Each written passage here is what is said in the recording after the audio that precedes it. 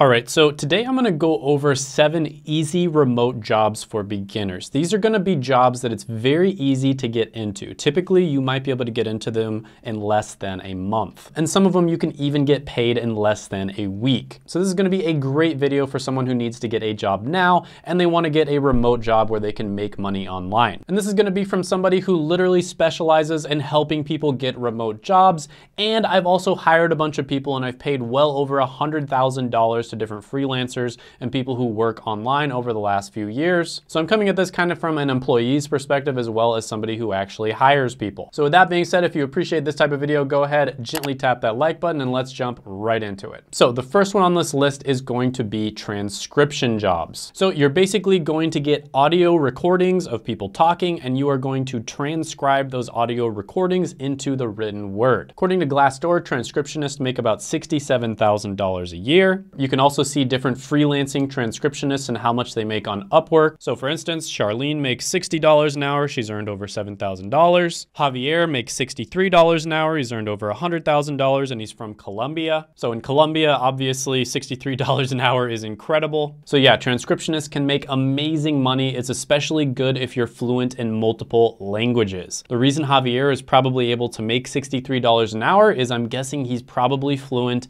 in both Spanish and English. English. So some companies you might wanna check out if you're looking to get a job as a transcriptionist would be Babbletype, AccuTrans Global, Scribie, or TranscribeMe. And a good website to look for these jobs might be Translator Base. Next one on the list is going to be customer service representative. So I think everybody knows what this is. Somebody's having an issue with a product or a service and they call the company to get help. And the person that they're typically going to talk to is going to be a customer service representative. According to Glassdoor, customer service representatives make $55,000 a year. So you can easily get a job as a customer service representative in less than a month. You have a massive advantage if you have an English or American accent. And the reason for this is people are kind of tired of talking to people with other accents. No offense to those people, but it can be a little bit frustrating. And they would much rather talk to somebody who has an accent from the country that they are are from. This also tends to be an extremely flexible job. There's people who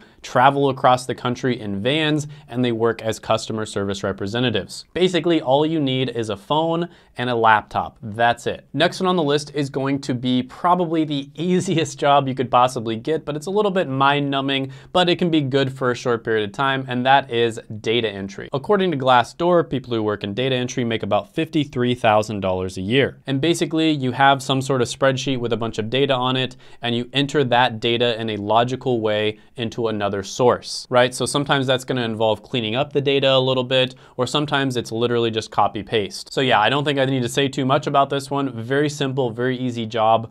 Probably pretty boring for someone like me anyways to do this for like 12 hours or eight hours, but it is super easy to land these types of jobs. Next one on the list is going to be teaching English online. So this is actually a multi-billion dollar industry. And this is exactly what it sounds like. You're gonna be teaching English online to people who are in countries like China or South Korea. And according to Glassdoor, online English teachers make about $79,000 a year. It does help if you're multilingual. So for instance, if you speak Korean and English, that's going to really help you out. But with that being said, a lot of people get into this with very little experience and no certification or training. There are websites out there like Cambly where you can do this kind of like on a part-time basis. And there's also a ton of opportunities out there for you to get full-time work. So the next one on the list is going to be social media management and content creation. This is an emerging industry industry that's growing so rapidly and there's so many different jobs and niches and sub niches that are popping up. Now this could be something as simple as responding to tweets on Twitter for a company, or it could be getting hired to reach out to blogs in order to try to get backlinks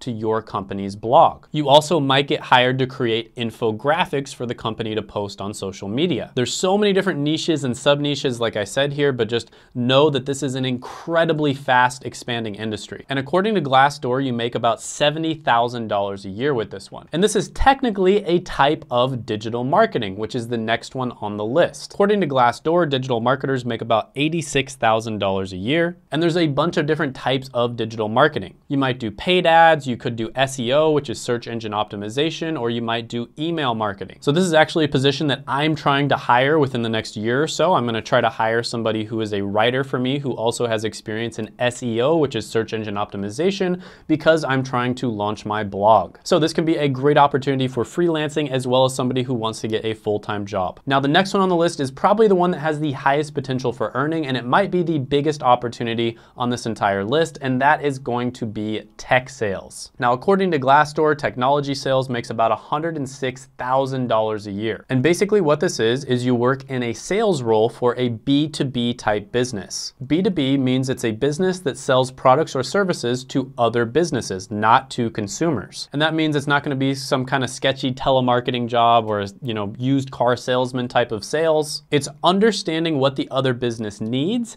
and then making sure that your business has a product or service that solves their problem. And a lot of it is basically going to be relationship management. Now I've done a lot of different interviews with people on this channel who have gotten into tech sales. There's so many incredible stories and all of them have taken the free training which is offered by Course Careers. Now Course Careers on top of offering this free training also has a service where you can actually get trained by them in a specific role and they're going to get you interviews with different tech sales companies. So you can check out that free training down in the description as well as the pinned comment below and check out the interviews that I've done with people who have gotten into tech sales. For instance, Della was able to go from stay-at-home mom to making over $100,000 a year in a month and a half. And I'll make sure that pops up right here.